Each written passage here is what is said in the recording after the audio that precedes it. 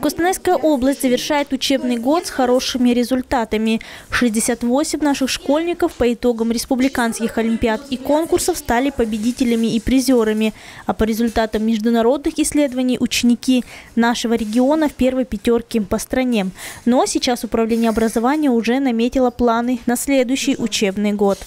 Безусловно, для качественного обучения важна цифровизация. На сегодня в области все 445 школ обеспечены интернетом. 293 или 66% школ имеют скорость интернета от 20 и выше мегабит в секунду. В этом году планируется увеличить данный показатель еще в 152 сельских школах, а до конца года все школы будут обеспечены высокоскоростным интернетом и локальной сетью. Айман Ибраева отметила, что в этом году запланирован ремонт в 130 объектах образования, а 12 школ будут отремонтированы капитально, в том числе две школы Кустаная, 9 и 10.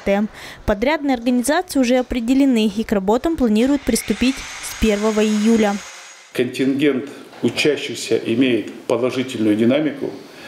Вот, э, аналитика показывает, что за последние пять лет число школьников – увеличилась на 4%. В этой связи имеется потребность в строительстве новых школ для снижения нагрузки на существующую инфраструктуру. Всего в ближайшие три года будут построены 12 новых школ, так, э, в том числе 8 школ в рамках э, проекта «Комфортная школа».